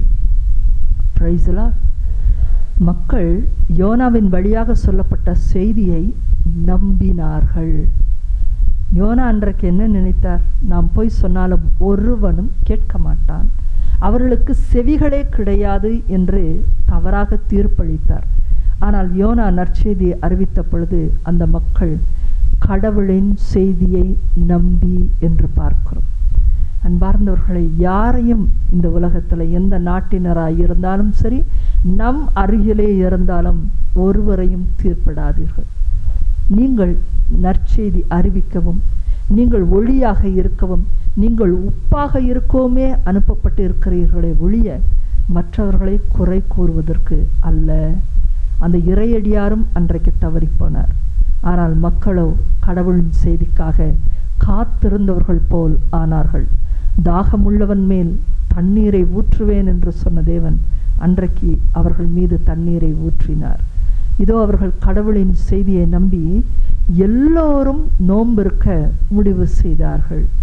நான் இந்த வசனத்தை பார்க்கையிலே அத்தனை ஒரு ஒரு லட்சத்தி இருபதாயிரம் மக்கள் என்று சொல்லப்பட்டிருக்கிறது. ஒரு லட்சம் மக்கள் உடனடியாக நோம்பிருக்க முடிவு செய்திருப்பார்களா என்று பார்க்கிற பொழுது கண்டிப்பாக எல்லோரும் செய்திருக்க முடிவு செய்திருக்க முதலில் முடிந்திருக்காது. யாரோ ஒருவர் எழும்பி இருப்பார். நான் செய்கிறேன் என் குடும்பத்திற்காக செய்கிறேன் என்று எழும்பியிருக்கக்கூடும் அவர் தனக்காகவும் தன் குடும்பத்திற்காகவும் எழும்பி அநேக பேரை எழுப்பியிருப்பார் அந்த ஒரு ஆவியானவருடைய வல்லமை அநேக பேருக்குள்ளே கடந்து போயிருக்கும். அவருடைய மனமாற்றம் பலருக்கும் ஒரு மாற்றமாக இருந்திருக்கக்கூடும். நீங்கள் இந்த உலகத்திலே ஒரு ஒளியாகவே இருக்க ஆசைப்படுங்கள். உங்களை பார்த்து மக்கள் எழும்பி நிற்கும்படியாய் ஒரு வாழ்க்கைக்கு நாம் திரும்ப வேண்டும். அநேக பேர் ஒளியாக இருந்திருந்தால் இன்றைக்கு இப்படிப்பட்ட ஒரு சூழ்நிலையை நாம் சந்தித்திருக்கவே மாட்டோம். இன்றைக்கு ஒளியான மக்கள் மிகவும் குறைந்து போய் அதுதான் ஒரு பர்சன்ட் தொண்ணூற்றி ஒன்பது பர்சன்ட் இன்றைக்கு இருளான பக்கத்தில் இருந்த பொழுது அவர்கள் வெற்றி அடைந்தது போல ஆகிவிட்டது. இந்த வைரஸ் உலகமெங்கும் இருக்கிற மக்களை தாக்க முடியாய் ஆகிவிட்டது ஆனால் கடவுள் யோனாவை அழைத்து வெற்றியை கொடுத்தது போல இந்த சிறிய மந்தையே நீ எழும்பு என்று சொல்லி நம்மைத்தான் இன்றைக்கு அழைத்திருக்கிறார் அவருடைய காரியங்கள் மிகவும் மிஸ்டீரியஸ் மறைப்பொருளாய் நம்மால் அதை கணிக்க முடியாததாகத்தான் இருக்கும். இதே வேளையிலே அங்கங்கே அங்கே யாரிடத்திலெல்லாம் நம்பிக்கை கொண்டிருக்கிறாரோ அன்பு கொண்டிருக்கிறாரோ அவர்களை எழுப்பி விட்டு இருக்கக்கூடும் இந்த காலத்தில் வீட்டை விட்டு வெளியேற முடியாத சூழ்நிலையில் இருக்கிற பொழுது வீட்டிலிருந்தே செய்யக்கூடிய ஒரு காரியம் இருக்கிறது என்றால் அது ஜெபம் மாத்திரமே. உங்களுடைய உண்மையான உண்மையான மனம் திரும்புதலின் உள்ளத்திலிருந்து ஜெபத்தை ஏறணுங்கள் முதலில் உங்களுடைய உள்ளம் பரிசுத்தமாக்கப்படுவதாக. பாவிகளாய் நீங்கள் இருந்து பாவத்தோட இருந்து ஜெபிக்கிற ஜெபம் கேட்கப்படாது. யோனா மனம் திரும்பினார். தன்னுடைய தவறை உணர்ந்து கொண்டார். அது போலவே நம் ஒவ்வொருவருடைய வாழ்க்கையில் இருக்கிற தவறுகளை உணர்ந்து செய்திருக்கிற தவறுகளை உணர்ந்து அநேக நேரத்தில் கடவுள் உங்களுக்கு வழிகாட்டி இருப்பார் வார்த்தைகளை கொடுத்து வழிகளை கொடுத்திருப்பார். ஆனால் அதை கேட்க செவியில்லாதவர்களாய் நாம் கடந்து போயிருக்கக்கூடும். ஆகவே அதிலிருந்து மாறி இதோ நாம் பரிசுத்த உள்ளத்தோடே நாம் ஜெபிக்க ஆரம்பிக்க வேண்டும். அன்றைக்கு எல்லோரும் நோன்பு இருக்க முடிவு செய்தார்கள். பெரியோர் சிறியோர் அனைவரும் சாக்கு உடை உடுத்தி கொண்டனர். நம்ம வந்து ஜப நோன்புங்கிறது வந்து உள்ளுக்குள்ள உணவு எடுக்காமல் இருப்பது உள்ளத்திலிருந்து ஜெபிப்பது இது உள்ளே நடக்கிற காரியம். ஆனால் வெளியிலும் கூட அவங்க பாருங்கள் சாக்கு உடை உடுத்தி கொண்டார்கள் என்று பார்க்கிறோம். வெளியிலும் தூய்மை வேண்டும் அன்பார்ந்தவர்களே. உங்களுடைய வாழ்க்கையிலும் நிறைய காரியங்கள் வெளிப்பிரகாரமாக தூய்மையை பற்றி தூய்மை வேண்டும் என்று கடவுள் அறிவுறுத்தியிருப்பார். ஒழுக்கமான உடை அணிவது. ஒழுக்கமில்லாதவர்களெல்லாம் ஜெபிக்கிற பொழுது அதை கடவுள் கேட்பதில்லை. மிகுந்த அலங்காரை அலங்காரம் செய்து கொள்பவர்கள். நிறைய நகை அணிந்து கொண்டு ஜெபிப்பவர்களுடைய உள்ளத்தையெல்லாம் கடவுள் அறிந்தே இருக்கிறார். உன்னுடைய உள்ளத்தின் நோக்கம் தேடுதல் எதிலே இருக்கிறது என்பதை கடவுள் அறிந்தே இருக்கிறார். ஆக இந்த பொன்னையோ பொருளையோ கடவுள் வைத்திருப்பவர்களை தேடுவதில்லை. முக அலங்காரங்களை செய்து கொண்டு கடவுளை தேடுபவரில்லை ஆனால் பரிசுத்தமான உடலோடு நம்முடைய ஒவ்வொரு அவயங்களும் பரிசுத்தத்தில் இருக்க வேண்டும். அப்படியாய் உங்களுடைய வெளி தோற்றத்திலும் பரிசுத்தத்தை கொண்டு வாருங்கள். அவர்கள் வெளி தோற்றத்திலே தன்னை தாழ்மைப்படுத்திக் கொள்வதற்காய் இதோ சாக்கு உடை உடுத்தி இந்த நல்ல உடைகள் எனக்கு வேண்டாம். சாக்கு துணியை உடுத்துக்கொள்வேன் என்று சொல்லி சாக்கை அணிந்து கொண்டு கீழே சாம்பலை தூவிக்கொண்டு அமர்ந்தார்கள். மிக ஆச்சரியத்தக்கமான ஒரு காரியம் அதற்கு பின் நிறைவேறியது என்று பார்க்கிறோம். இந்த செய்தி நினைவே அரசனுக்கு எட்டியது. அவன் தன் அரியணை விட்டு இறங்கி இதே போன்று நோன்பையும் மேற்கொள்ள ஆரம்பித்தான் என்று பார்க்கிறோம். சரி அரசன் மக்கள் செய்தார்கள் அனைவரும் சேர்ந்து நோன்பு இருக்கிறார்கள் என்று தெரிந்து கொண்ட பொழுது அவன் இறங்கி அரச உடையை களைந்துவிட்டு பாருங்கள் மக்கள் எல்லோரும் சாக்கு உடை உடுத்து கொண்டார்கள். அதனால் தானும் தன் மக்களே உடுத்தி கொண்ட பொழுது என்ன என்று சொல்லி சாக்கு உடை உடுத்தி கொண்டு சாம்பல் மீது அமர்ந்து. அடுத்தது என்ன பண்ணானா எந்த மனிதரும் உணவை சுவைத்து கூட பார்க்க கூடாது என்று சொன்னார் யாரும் சாப்பிடாதீங்க. அதுக்கு அடுத்ததாக பாருங்க ஆடு மாடு முதலிய விலங்குகளுக்கும் தீனி தின்னவோ தண்ணீர் குடிக்கவோ கூடாது என்றான் அங்கே இருக்க ஆடு மாடுகளுக்கு கூட தண்ணீர் குடிக்கக்கூடாது என்றான் ஒரு ஆழமான மறை உண்மை இதில் அடங்கி இருக்கிறது எப்பொழுது ஒருவன் தன்னுடைய தவறுகளை உணர்ந்து அவங்க எல்லாரும் தவறுகளை உணர்ந்து கொண்டார்கள். ஓ என்னுடைய தவறினாலே இந்த தண்டனை வரப்போகிறது. நோவாவின் காலத்தில் நோவா சொன்ன பொழுது மனிதர்கள் அதை நம்பவில்லை. அழிவு வரும் என்று நம்பவில்லை. ஆனால் இந்த மனிதர்கள் தவறு செஞ்சுருக்கோம்ல? அதே அவங்க சொல்கிற அவ சொல்கிற எல்லா தவறையும் நான் செஞ்சிட்டேன்ல? அப்போ அழிவு வராமல் எப்படி போகும்? என்று உணர்ந்து கொண்டார்கள். இன்றைக்கு உலகத்தில் இருக்கிற மக்கள் அழிவு வரும் என்று நம்ப தயாரில்லை. அவனுக்கு மருத்துவம் தனக்கு உயிர் கொடுக்கும் என்று நினைக்கிறான் கவர்மெண்ட் தன்னை பாதுகாக்கும் என்று நினைக்கிறான் அன்பார்ந்தவர்களே மனம் திரும்புதலின் காலத்திலே இது நடந்து கொண்டிருக்கிறது. அதை மறக்காதீர்கள். உங்கள் கண்களுக்கு முன்பாக தவக்காலத்தில் உலகமெங்கும் இருக்கிற ஆலயங்கள் மூடப்பட்ட நிலையிலே நடந்து கொண்டிருக்கிறது. அதை புறக்கணிக்காதீர்கள். யோனாவை போன்று இன்றைக்கு இந்த செய்தி உங்களிடத்தில் வந்து சேர்கிறது. செய்தியை புறக்கணிக்காதீர்கள். இறை வார்த்தையை புறக்கணிக்காதீர்கள். அதற்குள் ஆழமான அர்த்தம் இருக்கிறது. இன்றைக்கு நீங்கள் ஜெபிக்காவிட்டால் உங்களுடைய தேசத்திலே உங்களுடைய சுற்றிலும் இருக்கிற சில பல கிலோமீட்டர் தொலைவிலே நின்று கொண்டிருக்கிற அந்த வைரஸ் பரவலாக்கப்படும். அதற்கு முன்பாக விழித்து கொள்ளுங்கள். உண்மையான உள்ளத்தோட ஆண்டவரை தேட ஆரம்பித்து மற்றவர்களுக்காகவும் கட்டி செவியுங்கள். நீங்கள் ஒருவராய் இருக்கலாம் அந்த மொத்த ஊருக்கே ஒருவராய் இருக்கலாம் நீங்கள் மட்டுமே ஜெபிக்கிறவர்களாய் இருக்கலாம் ஆனாலும் ஆப்ரஹாம் ஒருவராய் இருந்தார் அவர் சோதம் குமராவுக்காக அவர் மன்றாடி பார்த்தார். அந்த ஒருவருடைய நேர்மையாளருடைய ஜெபத்தை ஆண்டவர் கேட்டு அவருடைய விருப்பம் எதுவோ அவருடைய தம்பியின் குடும்பத்தை காப்பாற்றினார். மோயிசன் ஒருவராய் இருந்தார். அத்தனை லட்சம் மக்களுக்கு அவ்வப்பொழுது ஆண்டவர் இரக்கம் காண்பித்தார். நீங்கள் ஜெபிக்கிற பொழுது லட்சக்கணக்கான மக்களுக்காய் ஜெபிக்கிற பொழுது கடவுள் ஆசிர்வாதத்தை அருள்வார் என்று விசுவசிங்க. உங்களுடைய ஜபத்தை இன்றைய நாளில் வந்து இறங்கி இருக்கிற இந்த வைரஸ் நோயை கண்டிப்பாக நாம் அதை தோற்கடித்து ஜெயத்தை நாம் காண முடியும். அந்த விசுவாசத்தோட ஜெபியுங்கள்.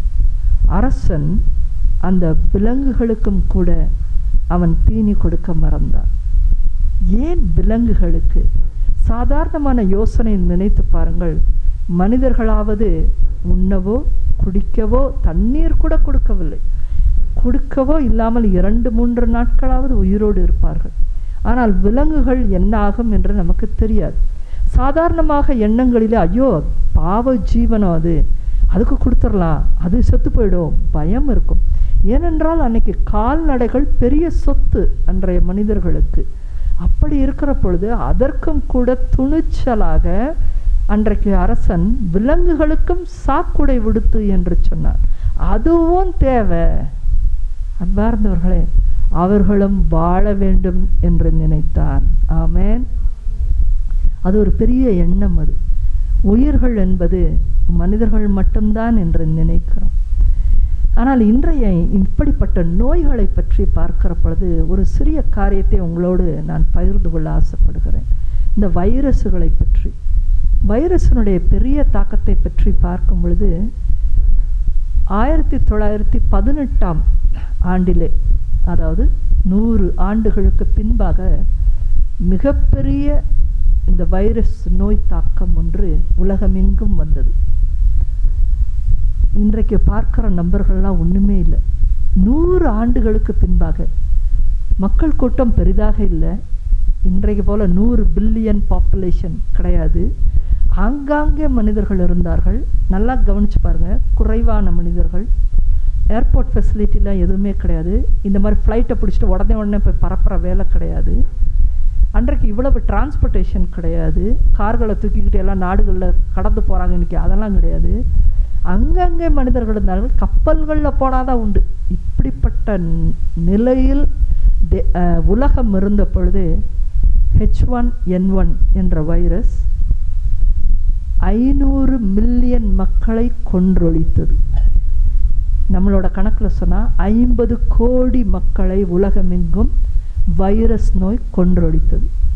அதன் பின்பு பத்து பதினைந்து ஆண்டுகளுக்கு ஒரு முறை இந்த பறவை காட்டு விலங்குகள் இதனிலிருந்து புறப்பட்டு வருகிற வைரஸ் மனிதர்களுக்குள்ளாக வேறொரு அது மாற்றத்தை கொண்டு வந்து அழிக்கிற தன்மையை அது பெற்றுக்கொள்கிறது. ஏற்கனவே அன்றைய காலத்தில் அந்த ஆயிரத்தி தொள்ளாயிரத்தி பதினெட்டில் இருந்த வைரஸ் எங்கோ தன்னை ஒழித்து வைத்துக்கொண்டு முழுவதுமாய் நூறு சதவீதம் அடித்து முடிச்சிட்டேன் அப்படின்னு இன்றைக்கி சொல்ல முடியாதான் மிக அழகான டாக்குமெண்ட்ரி நெட்ஃப்ளிக்ஸில் இருக்குது பேண்டமிக்னு சொல்லி. போய் பாருங்கள் அதில் தெளிவாக இதை பற்றி சொல்லப்பட்டு இருக்கிறது அது முற்றிலும் ஒழிக்கப்படாமல் எங்கேயோ ஒரு இடத்துல ஒளிந்து தூங்கி கொண்டு இருக்கிறது இந்த வைரஸை பற்றிய ஆராய்ச்சியை எடுப்பதற்கு ஆயிரத்தி தொள்ளாயிரத்தி பதினெட்டில் நடந்த அந்த வைரஸை பற்றிய ஆராய்ச்சியை ஒரு காலகட்டம்லாம் தாண்டி எல்லாம் அறவே ஒழிக்கப்பட்ட பிறகு மீண்டும் அதை ஆராய்ச்சி செய்ய வேண்டும் என்று நினைத்த பொழுது எங்கேருந்து எடுத்தாங்களாம் தெரியுமா? ஃப்ரோசன் பாடிஸ் எங்கேயாவது மழைக்குள்ளே அதாவது பனிப்படலத்துக்குள்ளே சிக்கியிருந்த உடல்களில் அந்த வைரஸ் அப்படியே இருந்ததா பாருங்கள் அங்கிருந்து தான் ஆராய்ச்சி எடுத்திருக்கிறார்கள். பத்து பதினைந்து ஆண்டுகளுக்கு ஒரு முறை இப்படிப்பட்ட நோய்கள் உலகத்தை பாதித்து கொண்டுதான் இருக்கிறது. பறவை காய்ச்சல் ஒரு கட்டத்தில் நிறைய மக்களை பாதித்தது. உங்களுடைய வீட்டிலே வராமல் இருப்பதனாலே இந்திய தேசம் இப்படிப்பட்ட எப்பிடமிக் பேண்டமிக் நோய்களை பார்த்ததில்லை அதிகமாக. ஆனால் பூனே ராஜஸ்தான் போன்ற சிட்டிஸ் எல்லாமே கடந்த சில வருடங்களுக்கு முன்னாக ஸ்வைன் ஃப்ளூவை பார்த்தது. என் எழுபது பேர் அந்த நாட்களிலே மறித்து போனார்கள். பல பேர் பாதிக்கப்பட்டார்கள். நம்முடைய காலத்தில் டெங்குவை பார்த்திருக்கிறோம். அடுத்ததாக சிக்கன் குனியாவை பார்த்தோம். வைரஸுகள் பாக்டீரியாக்கள் மனிதனை ஒழிப்பிப்பதற்காக தீமைகள் நிறைந்த காலகட்டத்திலே எழும்பி வரத்தான் செய்கிறது. சார்ஸ் என்ற ஒரு நோய் பத்து ஆண்டுகளுக்கு முன்பாக உலகையே கலக்கியது. அது சிங்கப்பூர் தேசத்தில் நிறைய உயிரிழப்புகளை கொண்டு வந்து சேர்த்தது. இது எல்லாம் பத்து பன்னிரெண்டு ஆண்டுகளுக்கு ஒரு முறை நடக்கிற காரியமே. இரண்டு மூன்று வருடங்களுக்கு முன்பாக பில்கேட்ஸ் அவர்களும் கூட இனி அடுத்து ஒரு பேண்டமிக் பேண்டமிக் என்று சொன்னால் ஒரு இடத்தில் மட்டுமல்ல உலகமெங்கும் பரவுகிற வேகமாக பரவுகிற நோய்களுக்கு பெயர் தான் பேண்டமிக் இந்த பேண்டமிக் நோய் அடுத்து ஒன்று வரும் என்று சொன்னால் மிக பெரிய அளவிலே தாக்கத்தை கொண்டு வரும். அது உலகம் முழுவதையுமே அசைத்து பார்க்கும் நிறைய இழப்புகள் ஏற்படும் என்பதை பில்கேட்ஸ் மூன்று ஆண்டுகளுக்கு முன்பாக மீண்டும் மீண்டும் வலியுறுத்தி இருந்தார். ஏனென்றால் நம்முடைய சுகாதாரமின்மை அதிகமான வெட் மார்க்கெட் um, uh, என்று சொல்வார்கள். வெட் மார்க்கெட் அப்படின்னு சொன்னால் இந்த அனிமல்ஸை எல்லாம் ஒரு ஈரத்தன்மையில் வைத்திருப்பது. அதனுள் இருந்த பாக்டீரியாக்களும் வளர்கிற இடம். ரொம்ப மோசமான சுகாதாரமற்ற சூழ்நிலைகளில் இந்த கோழி நாய் புறா பாம்பு இது எல்லாத்தையும் உள்ளே போட்டு வச்சு விற்கிற மார்க்கெட் இதிலிருந்தெல்லாம் கிளம்பும் என்றே சொல்லப்பட்டு இருந்தது ஆனால் ஏன் கிளம்புகிறது? கடவுளின் பிள்ளைகள் வீரியமற்று போனால். கடவுளின் பிள்ளைகளே நிறைய தவறு செய்கிற பொழுது கடவுளின் பிள்ளைகள் ஜபத்தை மறுத்து விடுகிற பொழுது கடவுளின் பிள்ளைகளுக்குள்ளும் பொறாமையும் போட்டியும் ஜாதி வெறிகளும் இன்றைக்கு நிறைந்து காணப்படுகிற பொழுது பிசாசு மேற்கொள்ளுகிறான். அவனுடைய கை ஓங்குகிறது. இதோ இந்த உலகத்தின் மீதும் இந்த தேசத்தின் மீதும் உங்கள் குடும்பத்தின் மீதும் ஆண்டவருடைய இரக்கம் வர வேண்டும் என்றால் இந்த தவ நாட்களிலே ஆண்டவர் உங்களை எழும்பச் சொல்லுகிறார். நீங்களாவது செவியுங்கள். நீங்களாவது பிறர் அன்பு கொண்டு வாழுங்கள். நீங்களாவது மனம் திரும்புங்கள். நீங்கள் உள்ளத்தில் கடவுளின் மேல் அச்சத்தை கொண்டு வாருங்கள். உங்களுக்கென்று கடவுள் வைத்திருக்கிற நலமான திட்டம் எதுவோ அதை கை கொண்டு வாழுங்கள். இன்னும் உலகத்திலே உங்களுடைய நாட்களை ஓட்டிக் கொண்டிருக்காமல் இதோ கடவுளின் வெகுசனம் அன்றைக்கு இறை அடியாரின் மீதும் யோனாவின் மீதும் கடல் கொந்தளிப்பின் மூலம் காட்டினார். உள்ளே கடலின் ஆழத்திற்குள்ளே தள்ளி காட்டினார். அதே போன்று நம்மீதும் கடவுளுடைய கைகளை உயர்த்த வெகு நேரம் ஆகிவிடாது. அதற்கு முன்பாக நீங்கள் யோனா மனம் திரும்பினது போல இதோ செல்கிறேன் ஆண்டவரே என்று சொல்லி வந்தார். ஆனாலும் கூட அந்த மக்களை பற்றிய குறைபாடு அவருக்குள்ளாய் இருந்தது. இவர்கள் அப்படியெல்லாம் மாறுவார்களா என்று நினைத்தார். ஆனால் ஒருவருடைய உள்ளத்தை கடவுள் மாத்திரமே அறிந்து கொள்வார். யோனா என்ன மற்றவருடைய உள்ளத்தை அறிந்து கொள்ள முடியும்? இன்றைக்கு நாமும் கூட மற்றவர்களுடைய உள்ளத்தை அறிந்து கொள்ள தேவையில்லை. நாம் சரியாக இருந்து ஜெபிக்க அழைக்கப்பட்டிருக்கிறோம். அவ்வளவுதான். ஆக இன்றைய நாளில் உள்ளங்களை பரிசுத்தமாக்குவோம். முதலாவதாக மக்கள் நோன்பிற்கு தயாரானார்கள். ஏன் தெரியுமா? அவர்களுக்கு குடும்பத்தின் மீது அக்கறையும் அன்பும் இருந்தது. தன்னுடைய குடும்பத்தார் அழிக்கப்படுவார்களோ என்பதனாலே பெரிய அதிகாரத்தில் இருப்பவர்கள் உணர்ந்து கொள்ள மாட்டார்கள் அன்பார்ந்தவர்களே. மற்றவர்கள் உணர்ந்து கொள்ளவே அவர்கள் யார் அழைக்கப்பட்டார்களோ அவர்கள் ஜெபித்திருக்கலாமே. அவர்கள் இதற்காக போராடி இருக்கலாமே என்று நாம் சொல்வதை விட நமக்கு குடும்பங்கள் இருக்கிறது. நம்முடைய குடும்பத்தார் பல தேசங்களில் இருக்கிறார்கள். அவர்களுக்கு எதுவும் ஆகாதபடி. அன்பார்ந்தவர்களை இப்படிப்பட்ட ஒரு இறப்பு மோசமான இறப்பு சொந்த பந்தங்களை பார்க்க முடியாத மரணத்தை எதிர்நோக்கி காத்து கொண்டிருக்கிற நேரங்கள்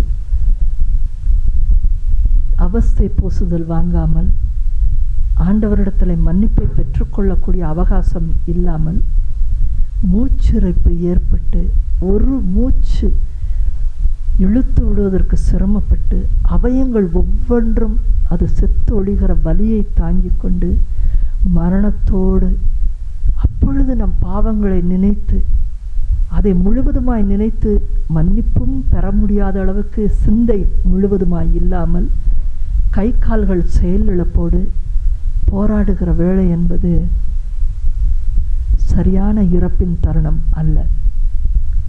அப்படிப்பட்ட ஒரு இறப்பு இனியும் மக்களுக்கு ஏற்படக்கூடாது.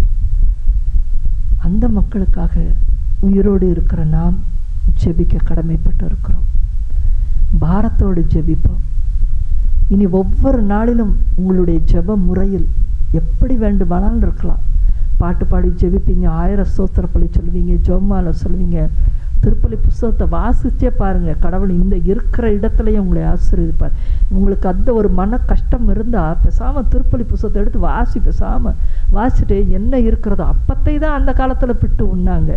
இன்றைய காலத்தில் தான் நாகரீகமாக மாறி அது ஒரே விதமாக இருக்க வேண்டும் என்று அந்த அப்பம் உருவானது. நீங்கள் உங்கள் வீட்டில் என்ன வச்சுருக்கீங்களோ ப்ரெட்டை வச்சுருக்கீங்களா இது ஆண்டவருடைய ரத்தமாக மாறுகிறது என்று நினைத்து உண்ணுங்கள். இந்த காலகட்டத்தில் எப்படி இருக்குதோ மாறிக்கொள்ளுங்கள். கடைசி காலத்தில் நிற்பது போல் அவங்களுக்கு தெரிகிறதா? ஒவ்வொரு காலகட்டத்திலும் அழிவு வந்து கொண்டே தான் இருக்கிறது.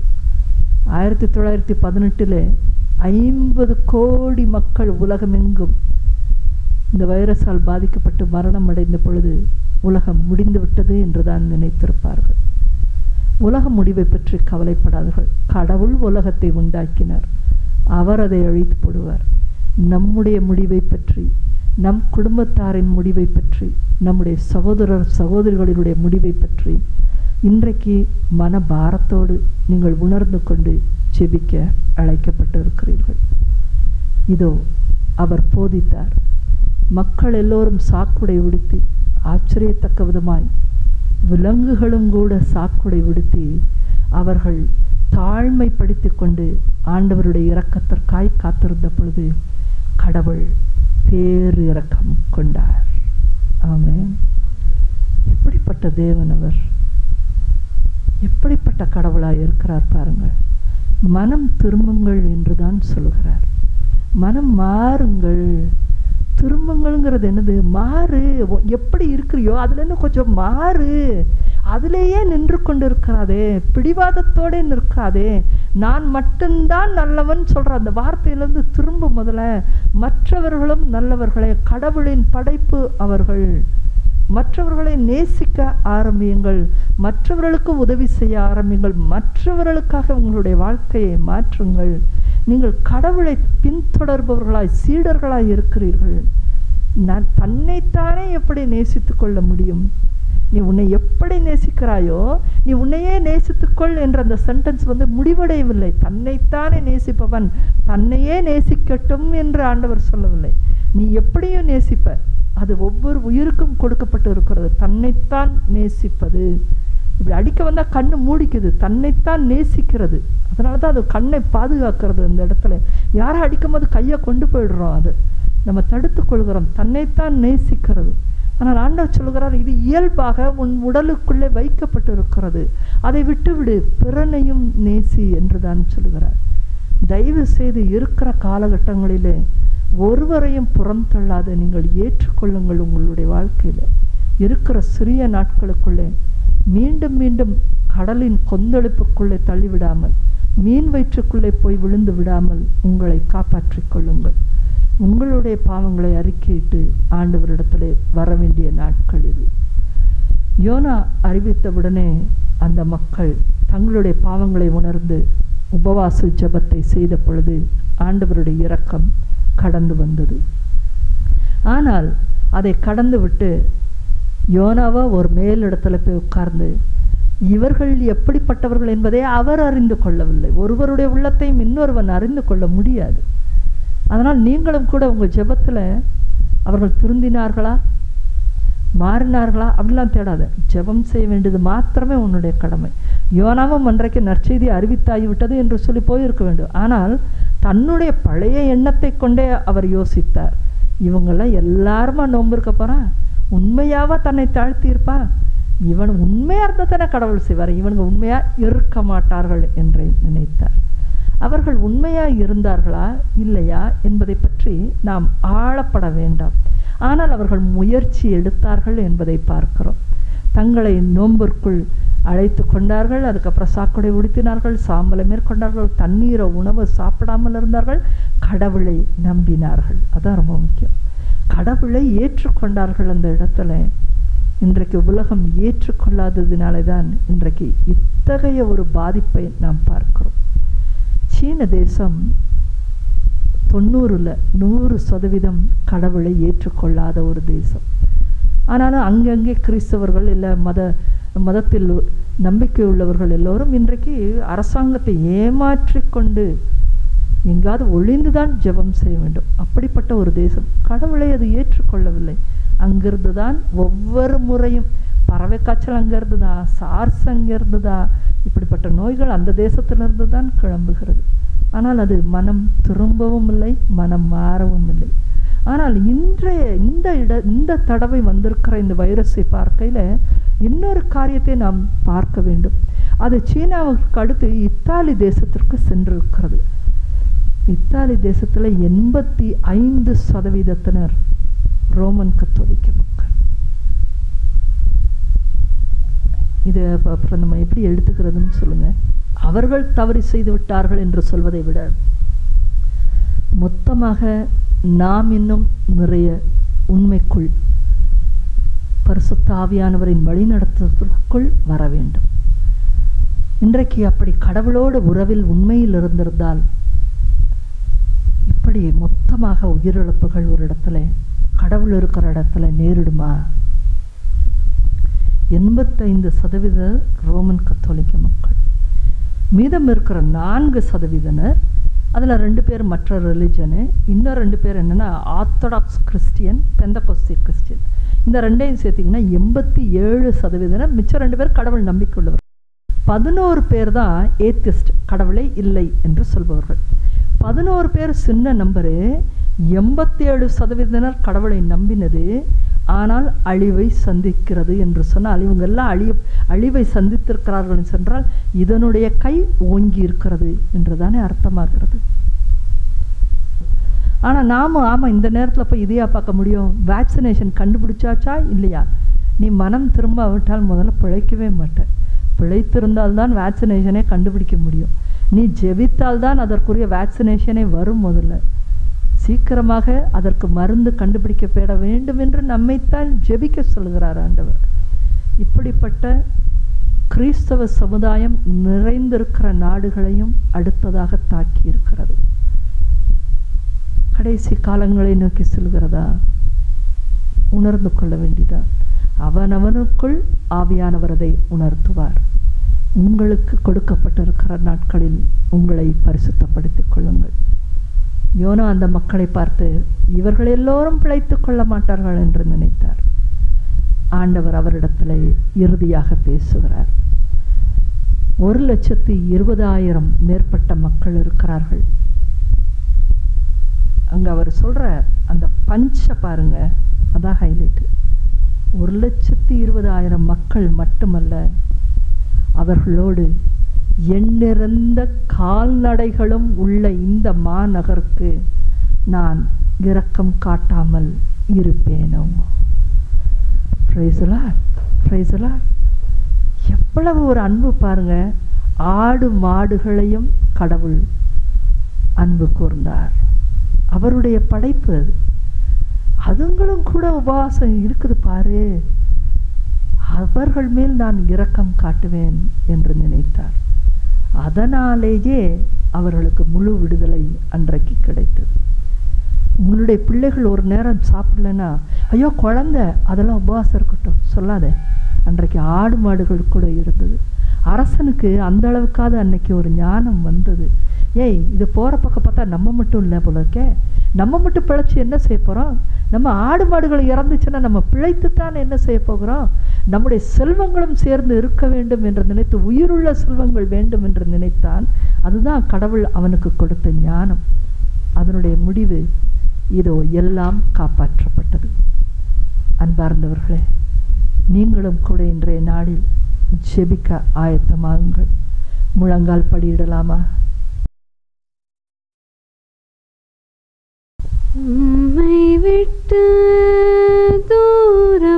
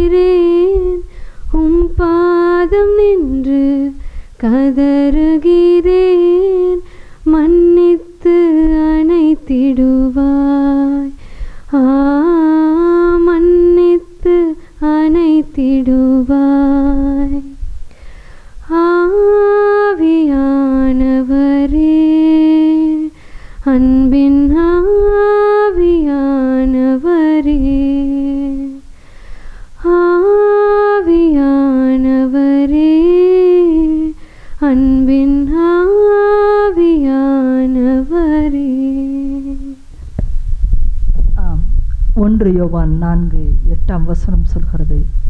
அன்பில்லாதோர் கடவுளை அறிந்து கொள்ளவில்லை. ஏனெனில் கடவுள் அன்பாயிருக்கிறார். நாமும் கூட கடவுளை அறிந்து கொள்ள முடியாதபடி எத்தனையோ தருணங்கள் மாறி இருக்கிறது என்றால் நம் உள்ளத்திலே அன்பு இல்லை. இதோ ஆண்டவரே பிறர் அன்பை எனக்கு தாரும். இந்த நாட்டில் உள்ள மக்களுக்காய் நாங்கள் பாரப்பட்டு ஜெபிக்கிற ஒரு அன்பை இன்றைக்கு தாரும் ஆண்டவரே. இந்த நோயை எதிர்த்து நிற்கக்கூடிய பலனை எங்களுக்கு தாரும் ஆண்டவரே. இதோ இந்த இத்தாலி தேசத்தில் அந்த வைரஸ் நோய் இன்றைய நாளில் அகன்று போகும்படியாய் செவிக்கிறோம் சுவாமி. அமெரிக்க தேசத்திலே அந்த நோய் அகன்று போகும்படியாய் செவிக்கிறோம் ஆண்டவரே. உலகமெங்கும் இருக்கிற மக்கள் இந்த கடைசி நேரத்தில் மூச்சு இறைத்து கஷ்டப்பட்டு கொண்டு இருக்கிற மக்களுக்கு நீர் விடுதலை தந்து அவர்களுக்கு ஆயுசு நாட்களை தரும்படியாய் செவிக்கிறோம் ஆண்டவரே.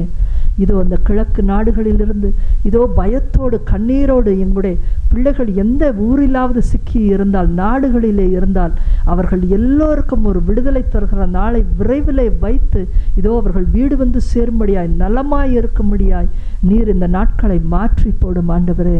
இதோ எங்களுடைய ஜெபம் பரிசுத்த ஸ்தலத்தில் கேட்கப்படுவதாக என்று ஜெபிக்கிறோம் சுவாமி. இதோ இந்த நாட்களிலிருந்து எங்களுடைய ஜெபம் உம்முடைய பரிசுத்த ஸ்தலத்தில் கேட்கப்படட்டும் ஆண்டவரே. இந்த வைரஸ் நோய் முற்றிலுமாய் சில நாட்களுக்குள்ளாய் மறையட்டும் ஆண்டவரே. இந்த நாற்பது நாட்கள் முடிவடையும் பொழுது ஆண்டவரே உம்முடைய ஸ்தலத்திலே நாங்கள் சென்று ஜெபிக்கவும் ஆராதனை செய்யவும் எங்களுக்கு நேரத்தை தாரும் ஆண்டவரே. எங்களுக்கு அந்த இடத்தை திரும்பி திறக்கும்படியான நாட்களை தாரும் ஆண்டவரே. இதோ இடத்துல ஜெபிக்கிறோம். இந்த வைரஸுக்கு எதிராக உண்டான மருந்தினை கண்டுபிடிக்கக்கூடிய நபர்களை எழுப்பும் ஆண்டவரே. கூடிய விரைவிலே அந்த மருந்துகள் எல்லோரிடத்திலும் வந்து சேரும்படியா எங்களை நீர் தொடுவீராக சுவாமி. இதோ உம்முடைய ஆசீர்வாதம் கடந்து வரும்படியாய் ஜெபிக்கிறோம் ஆண்டவரே. கடந்து வரும்படியாய் ஜெபிக்கிறோம் ஆண்டவரே. அன்பின் தகப்பனே இன்றைய நாளிலே இந்த வைரஸுக்கு எதிரான மருந்துகளை கண்டுபிடிக்கக்கூடிய நபர்களை நீர் எழுப்பும் ஆண்டவரே. நீர் எழுப்பும் சுவாமி. அது விரைவிலே மக்களை சென்றடையும்படியும் அவர்கள் நலமடையும்படியும் நீர் செய்வீராக. இந்த வியாதியினுடைய தாக்கம் தொடர்ந்து இந்த மக்களை தாக்காதபடி இதோ அவர்களை நீர் பாதுகாப்பீராக. உம்முடைய பிள்ளைகளின் மீது இதோ இந்த இரக்கம் இன்றைக்கு பரலோகம் திறக்கப்பட்டதாய். இதோ மனிதர்கள் மீது வந்து இறங்குவதாக சுவாமி. இதோ நாங்கள் இயேசுவே நீர் ஒருவரே ஆண்டவர் என்று விசுவசிக்கிறோம். உம்மால் எல்லாம் ஆகும் என்று விசுவசிக்கிறோம். இதோ உம்மை நம்புகிறவன் பேறு பெற்றவன் என்பதை நாங்கள் ஏற்றுக்கொள்கிறோம். இதோ நீர் மகிமையின் தேவன் என்பதை நாங்கள் உணர்ந்து கொள்கிறோம். இதோ நீர் உயிர்த்தெழுதலின் ஆண்டவர் என்பதை நாங்கள் விசுவசிக்கிறோம். அந்த உயிர்த்தெழுதலின் வல்லமை இதோ இந்த வேளையிலே உலகமெங்கும் இருக்கிற மக்களின் மீது இறங்குவதாக நினைவே நகரின் மீது அந்த முழு நகரின் மீது உம்முடைய ஆசிர்வாதம் இறங்கினதே ஆண்டவரே.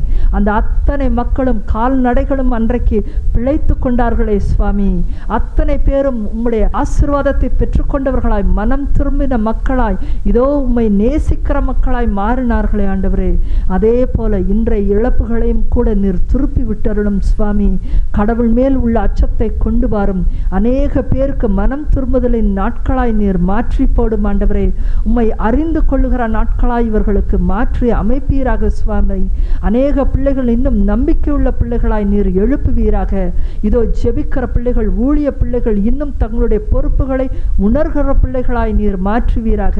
அவர்களுடைய உள்ளத்தின் வேட்கையை நீர் உணர்ந்து இதோ ஆண்டவரே அவர்களுக்கு இதோ உள்ளத்தின் ஆத்தும பாரத்தை உணர்ந்து ஜெபிக்கிற தன்மையை நீர் கொடுப்பீராக. அவர்களுடைய வாழ்க்கை நடத்தைகளிலும் மாற்றம் ஏற்பட்டு பரிசுத்த பிள்ளைகளாய் மாறும்படியாய் இந்த நாட்களை நீர் வாய்ப்பு கொடுப்பீராக சுவாமி. இதோ உம்முடைய ஆசீர்வாதம் கடந்து வரும்படியாய் ஜெபிக்கிறோம் ஆண்டவரே. உம்மை விட்டு தூர போயிருந்தாலும் உம்முடைய திருக்கோயிலிலே வந்து அவசங்கை படுத்தியிருந்தாலும் அந்த திருப்பலிகளை நாங்கள் சரியாக மேற்கொள்ளாமல் போயிருந்தாலும் இதோ இன்றைய நாளில் தூர போயிருந்தாலும் ஆண்டவரே எங்களை மன்னித்து நீர் ஏற்றுக்கொள்ளும்படியாக ஜெபிக்கிறோம் சுவாமி. தேற்றரவாழனும் நீரே தேற்றிடுமே ஆற்றிடுமே. தேற்றரவாழனும் நீரே தேற்றிடுமே ஆற்றிடுமே. அன்பினால் நிரப்பிடுமே அன் அன்பினால் நிரப்பிடுமே கனிகளை தந்திடுமே. ஆவியின் கனிகளை தந்திடுமே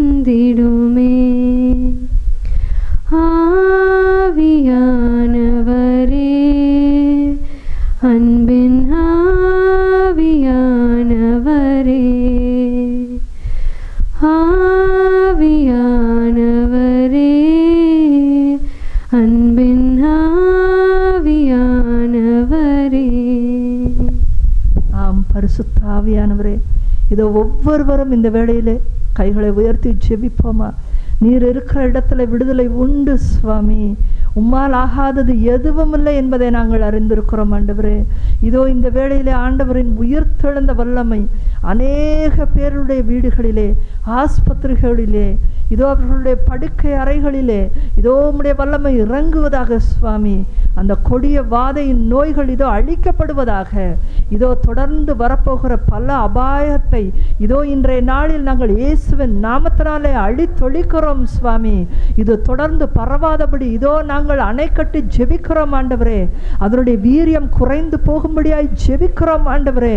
உம்முடைய வல்லமை இறங்கட்டும் இந்த உலகத்தின் மீது இறங்கட்டும் உம்முடைய மக்களின் மீது இறங்கட்டும் உம்முடைய தலைவர்கள் ஞானமுள்ள முடிவுகளை எடுக்கும்படியாய். இதோ நாட்டின் தலைவர்களின் மீது உம்முடைய ஆசீர்வாதம் இறங்கட்டும். திருச்சபையின் மீது இறங்கட்டும். இந்த காலகட்டங்களிலே சரியான முடிவுகளை நோக்கி எடுக்கும்படியாய். ஜெபிக் ஜெபிப்பதிலே இதோ அவர்கள் ஊன்றி நிற்கும்படியாய். இதோ உம்முடைய ஆசீர்வாதம் கடந்து வரட்டும் ஆண்டவரே. இறை மக்களின் மீது இதோ உம்முடைய ஆசீர்வாதம் கடந்து வர வேண்டும் என்று ஜெபிக்கிறோம் ஆண்டவரே. வல்லமையாய் உம்முடைய காரியம். இதோ உம்முடைய ஆவியானவர் இறங்கி அந்த காரியங்களை செய்யப்படுவதாக.